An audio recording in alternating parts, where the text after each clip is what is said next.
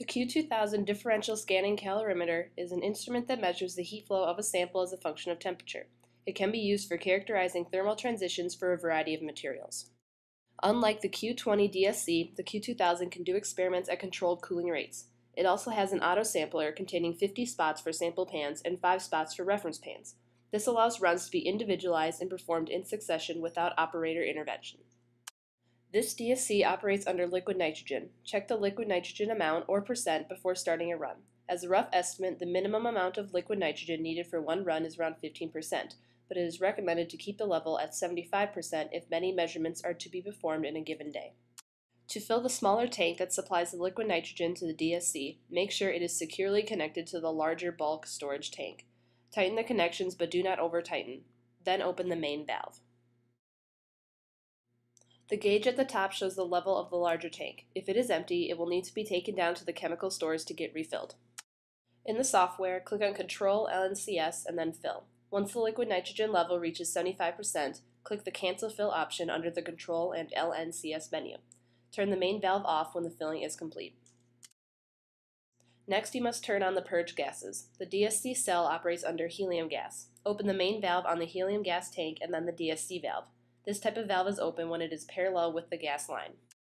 The base of the DSC is circulated with nitrogen to eliminate any moisture. Only open the main bottle valve for this nitrogen tank.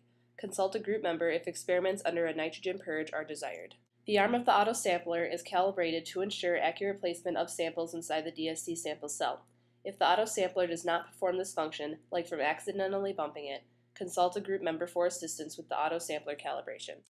Make sure the sample cell is clean before and after your test. To prepare your sample, record the empty pan and lid mass and tare the scale. For a solid sample, cut the sample and place it in the standard pan. For a liquid sample, put one drop in the bottom of the hermetic pan. Place the lid on top and put it in the proper holders. Use the blue holders for hermetic pans and the green for standard pans. Use the press kit to lightly seal the sample. Weigh the sample pan and record your sample mass in the software. Use tweezers to place the sample pan in an empty position in the auto sampler. Identify the pan number. Also press the empty reference pan and place in the proper reference pan position. Do the sample preparation and placement for all samples. Make sure the large plastic lid is properly placed over the sample holders. In the Summary tab, specify the test as custom and the pan type as aluminum for a solid sample and hermetic for a liquid sample. Make sure to record the weights of the sample, empty sample pan and lid, and empty reference pan and lid. Also input the pan number or location of your sample and reference pans. Enter in your sample name and save your data in the proper folder. In the Procedure tab, enter in your method. The Q2000 can start at very low temperatures and is cooled using the liquid nitrogen. In the Notes tab, enter your name, sample, flow, and any additional information. Click Apply to save all changes and add other runs if needed. Add a run by clicking on the Add Run button on the left. For each run added, the testing parameters in the summary procedure and notes must be specified. Make sure the software is set to begin with the first run. Once the software information is correct and the samples are loaded, start the experiment by clicking Start the Run. The machine will begin to follow the program and automatically select and place the proper sample and reference pan for the current run. One arm will transfer the samples while the other moves the outer cover. Once the run is complete, the machine will remove the previous sample and replace with the next run sample. Never manually move the sample cover or the auto sampler arm because this will disrupt the assembly alignment.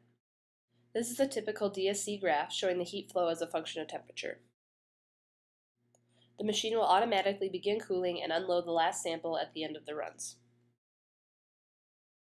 After the run is completed, let the DSC cool to room temperature. Remove all samples and close the valves of the purge gases.